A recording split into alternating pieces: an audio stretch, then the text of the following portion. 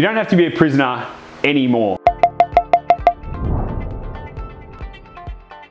What I want to talk to you about in this video is the fact that most people don't even understand why they're even really doing anything. Which might sound bizarre, but think about it. What is your reason? What's your purpose? What are you trying to do?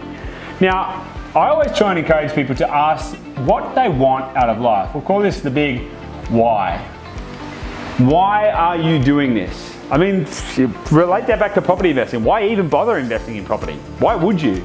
You must have a reason, something that is going to drive you and pull you forward, something that's going to take you from where you are now to where you want to be, your real, true purpose. Now, for some people, that's going to be things like, oh, I just want to create a better life for my kids. And for other people, that might be stuff like, I want to build schools for impoverished communities all around the country or internationally.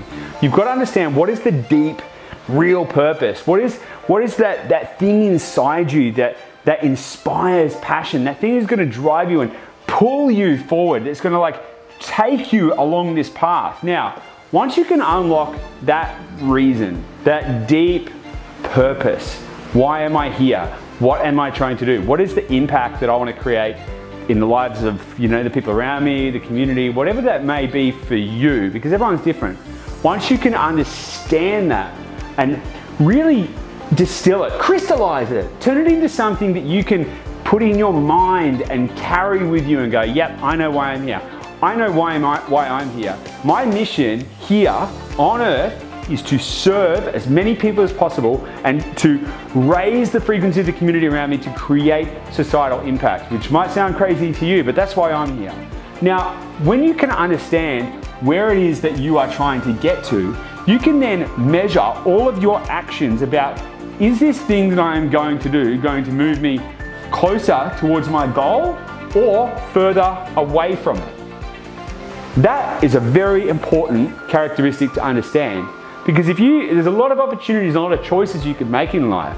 But if you can understand, okay, will the action that I take now move me along this pathway or along this pathway, you're gonna start to understand, okay, what are the things that I need to do? Do I need to invest in property? What type of property do I need to invest in?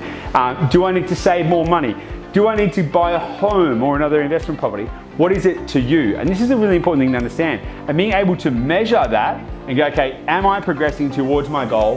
What is the amount of time that I want to take to achieve my goal? Is it five years, 10 years, 15 years, 20 years? Is it something that will never be completed in my lifetime? But define what the timeline is, right? And then understand what energy needs to be deployed to move you along this path, you're going to start to build a roadmap that is going to allow you to really progress towards those goals and allow you to achieve what it is you want. Rather than waking up in 20, 30, 40 or 50 years wondering what the hell happened and why you wasted your life.